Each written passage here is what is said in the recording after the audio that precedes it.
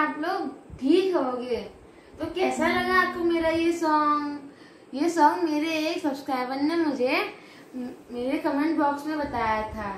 और आप चाहते हो कि मैं आपके फेवरेट सॉन्ग्स मेरे गिटार पे प्ले करूँ तो आप मेरे कमेंट बॉक्स में मुझे बता दीजिएगा। तो अगर आपको मेरी ये वीडियो अच्छी लगे तो लाइक और शेयर और चैनल को सब्सक्राइब